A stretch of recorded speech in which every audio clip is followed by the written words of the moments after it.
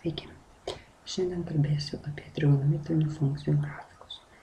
E, pirmiausia, prisiminkime, kokios yra pagrindinės trigonometrinės funkcijos. Tai yra štai šios keturios - sinusas, kosinusas, tangentas ir kotangentas. Na ir viena iš esminių savybių yra ta, jog visos šios funkcijos yra periodinės. Na, o periodinė funkcija, jeigu kas yra primiršęs, tai mes e, periodinėmis vadiname tokias funkcijos, kurioms e, na, galioja štai tokia taisyklė, jog e, egzistuoja toks skaičius t, kuris yra nelygus nuliui ir su tuo skaičiumi t galioja štai tokia lygybė. Paprasčiau kalbant, na, jinai tiesiog vis kiekviename intervale atsikartoja tas funkcijos grafikas, vėliau pamatysime, kaip tai atrodo vaizdžiai. Štai pavyzdžiui, pirma trigonometrinė funkcija yra y lygus sinus x, grafiko pavadinimas sinusoidė, funkcijos lyginumas yra nelyginė, kadangi jinai yra simetriška taško 0,0 atžvilgiu. Na ir matome, kad periodas yra 2pi. Tai būtent, tarkime, jeigu mes paimsime, tarkime, vat štai kad ir šitą intervalą, tai matome, kad šito intervalo dydis yra 2pi. O, na, čia aišku, kadangi paimti tokie skaičiai galbūt sunku taip iš karto pažvelgti, tai yra išvelgti, tai, bet iš tiesų šito intervalo dydis yra 2pi, apytiksliai 6,28 ir matome, jog vėliau sekančiuose intervaluose mes vėl brėžiame štai lygiai tokią pačią bangą.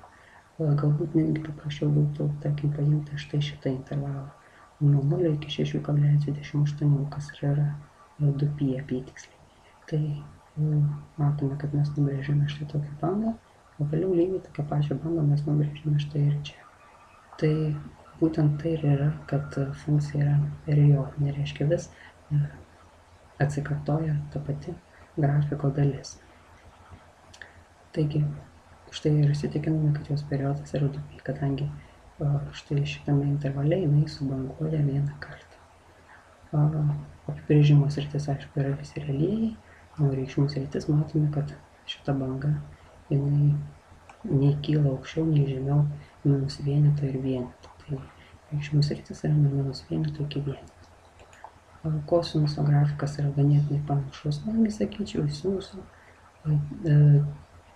vienintelis galbūt tiksliau ne, na, galima sakyti taip, ko ne vienintelis tikrai skirtumas yra tas, kad um, funkcijos grafikas yra lygi, lyginė funkcija, tai yra lyginumas yra lyginė, uh, nes yra simetriška, o y ašies atžvilgiu, o šiaip visos kitos charakteristikos yra lygiai tokios pačios. Periodas taip pat matome yra 2pi, uh, na šiuo kartu netgi yra pažymėtas aiškiau, tai yra aiškiau įžvelgti šitą periodą, nes e, čia būtent, būtent matome štai tą vieną subangavimą, kuris vėliau atsikartoja ir kitoje dalyje.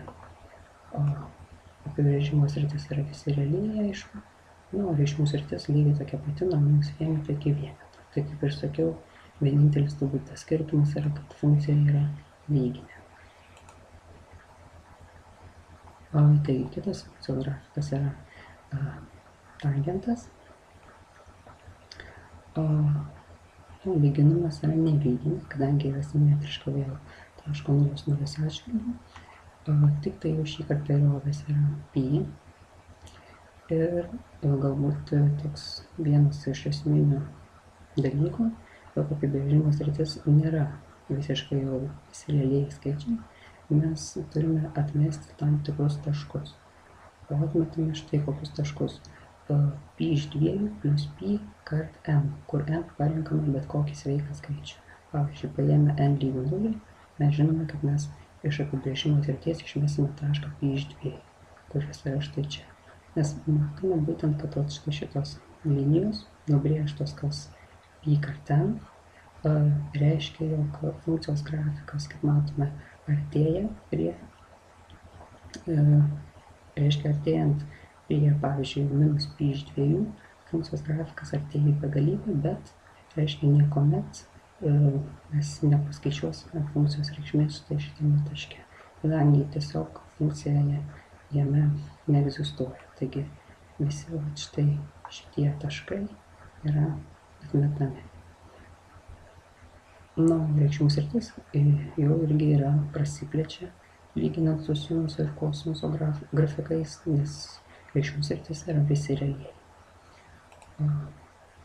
Kotangento grafikas yra panašus į tangento grafiką, lygiai taip pat kaip pavyzdžiui kosinusas buvo panašus į sinusą, kadangi, na, iš tiesų ir grafikas labai panašiai atrodo. Ir čia taip pat yra e, iš apibrėžimo srities išmetami e, tam tikri e, taškai. Reiškia, šiaip yra visi realiai, bet mes išmetame pi kart n. Reiškia taškus, kur n taip pat imame bet kokį sveiką skaičių. A, čia aišku, aš prabėgdamas pasakiau, kad nu, funkcijos periodas yra pi. Nežinau, ar paminėjau apie lyginumą, bet čia matome yra nelyginė. Taigi.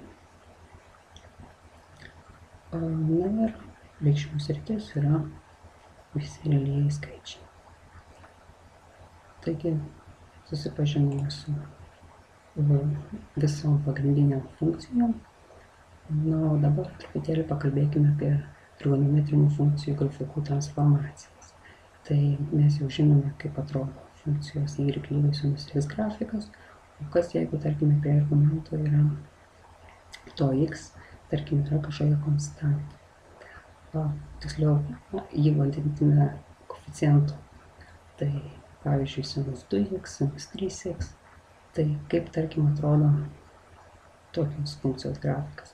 Tai lyginant su sinus x grafiku, tas grafikas tarsi atrodo ištemptas iš šono arba suspaustas priklausomai nuo a reikšmės.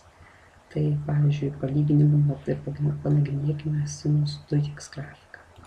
Tai čia mes viršui matome sinus x grafiką, o žemiau sinus 2x grafiką. Tai vat būtent čia ir matome, kad tas grafikas tarsi yra suspaustas. Jisai, kitaip sakant, dažniau subanguoja, padidėja jo bangavimas. Na ir tokie faktiškai esminiai skirtumai. O o jeigu panagrinėti charakteristikas, tai va čia būtent raudonai pabraukta, tai matome vienintelį, kas skiriasi, tai tik periodas, kuris būtent ir lemia tą subangavimo dažnumą. Reiškia, matome, jog šitoje funkcijos grafiko periodas yra pi, kadangi vieną kartą vat, matome subanguoja pasiekus pi reikšmę. O daugiau visą kitą yra tas pats. Uh, Na ir čia jau, ką, ką aš jau minėjau, kad vienintelis skirtumas yra periodiškumas. Ir aišku, na, iš grafiko būtų ganėtinai kiekvieną kartą keblų įsiaiškinti tą periodiškumą, tai tiesiog mes galime naudoti va, štai tokią formulę, kad sinus AX grafiko, tiksliau funkcijos periodas yra 2pi iš A. Čia galime, tarkime, vat ir paskaičiau, tarkim, koks yra sinus 4x periodas. Tiesiog pasinaudodami šitą formulę, vietoje rašome 4 ir gauname pi iš 2 sinus 1 trečiosios x, gauname 6 pi. O dabar panagrinėkime dar vieną galimą variantą. Funkcija gali taip pat būti ir užrašyta štai taip, y lygu a kart sinus x na tuomet lyginant su sinus x grafiku šitas grafikas atrodys tarsi ištemptas į viršų arba suspaustas žemyn. Tai panagrinėkime du sinus x grafiką. O vėl lyginkime su sinus x grafiku ir mes matome, jog būtent tai, kad grafikas atrodo tarsi ištemptas į viršų. Na, o čia, kaip matome, E, kita charakteristika išsiskiria. Čia šį kartą mes turime ir periodą lygų, ir visas kitas charakteristikas lygias. Tai yra vienodas. Na, o štai reikšmių sritis, matome, skiriasi.